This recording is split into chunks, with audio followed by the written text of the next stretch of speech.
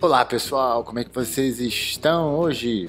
Espero que vocês estejam bem. Temos mais um tema para você, é claro, né? Mas primeiro, gente, curta, comente, compartilhe, dê o seu like também no nosso vídeo, né? É muito importante para nós. E estamos juntos, ou como diriam os armênios, Menk Minhazinhenk. O tema de hoje é a importância em valorizar a cultura indígena para a preservação da identidade brasileira. Redação sem título e introdução. O sincretismo é a base da sociedade brasileira, formada pela fusão de segmentos culturais diferentes e mantendo algumas características de suas origens. Nesse contexto, os indígenas têm uma participação importante ao fornecer elementos fundamentais para a formação da cultura nacional. No entanto, apesar de terem sido exaltados na literatura, essa não é a realidade da maior parte de sua história. Orlando Vilas Boas, sertanista brasileiro, resumiu os problemas enfrentados pelos índios de forma singular em sua frase: Desde o descobrimento, o homem branco destrói a cultura indígena. Primeiro, foi para salvar sua alma, depois, para roubar a sua terra.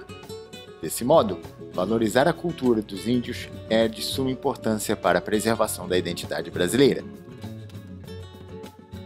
Desenvolvimento 2 Historicamente, a trajetória indígena no Brasil é marcada por muitas lutas, pela sobrevivência e por suas tradições. E mesmo que represente uma importante peça para a formação cultural do país, ainda são vítimas de preconceito e discriminação. Os jesuítas representam essa contradição ao protegerem os índios da ação dos bandeirantes, ao mesmo tempo em que promoviam sua aculturação por meio da catequização das tribos. Já o romantismo do século XIX supervalorizou o índio, que passou a ser símbolo da nacionalidade. Contudo, hoje o sonho acabou lutando por seus direitos previstos na Constituição, sofrem constantes atos de violência e descaso, como ocorreu com o índio Pataxó, que foi queimado vivo por jovens de classe média em Brasília enquanto dormia. Desenvolvimento 2 Outro desafio enfrentado é a constante crise de representatividade política que vivem os povos indígenas e que ameaça suas terras e, consequentemente, a sua cultura, diante da crescente bancada ruralista presente no Congresso Nacional. Em sua cultura, a natureza é vista como uma ampla rede de interrelações que deve ser respeitada.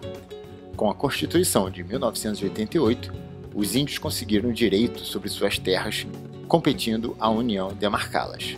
Nesse viés, eles representam um importante defensor do meio ambiente, contrariando os interesses expansionistas do agronegócio. Entretanto, essa disputa, além de violenta, que resulta em inúmeras mortes, também é politicamente desigual, tendo em vista a baixa representatividade das comunidades indígenas no cenário político. Como resultado dessa disparidade, atualmente a demarcação de terras está estagnada. Conclusão: Desse modo, cabe ao governo, em ação conjunta com o MEC, direcionar a política de valorização da cultura indígena, introduzindo aulas das diferentes culturas que formam a sociedade brasileira na grade curricular das escolas do país, na busca de diminuir a discriminação sofrida por esses indivíduos. Além disso, sendo a TV aberta uma concessão pública, o Estado deve ampliar o alcance dessa medida, concedendo um horário da programação televisional para a transmissão dessas aulas. Já Instituições de defesa dos índios aliadas aos representantes das tribos devem cobrar maior participação política e rapidez na demarcação de suas terras, atitudes que objetivam não só a diminuição dos conflitos, como também o cumprimento da lei. Espero que vocês tenham gostado desse tema, dessa redação. Não esqueçam de curtir, comentar e compartilhar. Menk Miazienst, estamos juntos também em armênio. Um abração, espero que vocês tenham um ótimo dia. Tchau, tchau.